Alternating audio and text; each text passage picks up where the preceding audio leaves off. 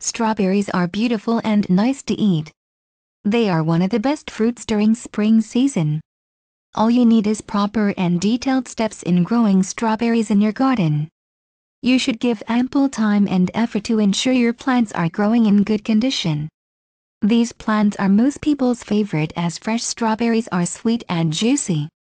First of all, before learning how to grow strawberries, you have to choose your type of strawberry plants.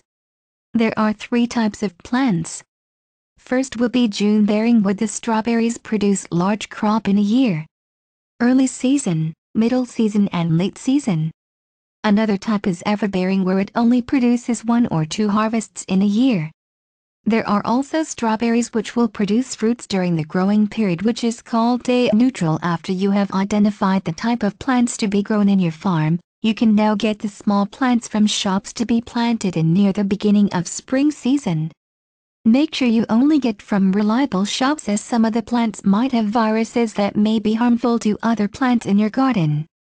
Then, select a strategic area with excellent sunshine in the morning, great drainage system, ideal slope to ensure the strawberries are grown in a good condition and environment.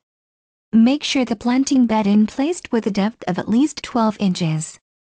Strawberries need fertile soil to grow healthily and the soil must be slightly acidic.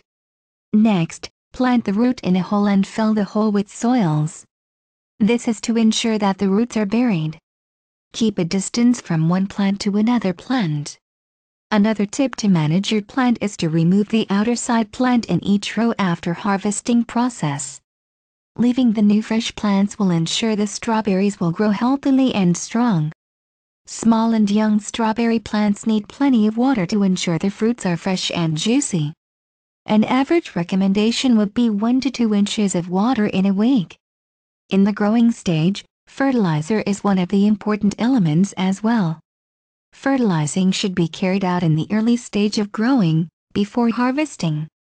The fertilizer quantity should be accurate to avoid over-fertilizing as it will affect the growth of your strawberry plants. A good practice is to pick the fruits at each blossom so that it won't deteriorate the plant production. Pick the ripe strawberries and serve them immediately for a fresh taste. Preserve them if you are planning to keep for several days. Here are all the simple steps to help you in how to grow strawberries. So, plan properly to ensure good production of strawberries in your garden. If you like this video, please share, like, and subscribe to our channel.